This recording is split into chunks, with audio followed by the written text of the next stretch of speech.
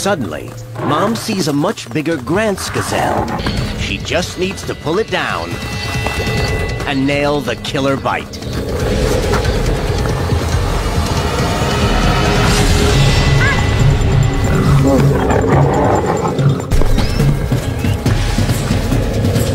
The gazelle is more than twice her weight. So the cubs try to help. They can't let the prize escape. But it still won't go down. And in a split second, the gazelle turns the tables.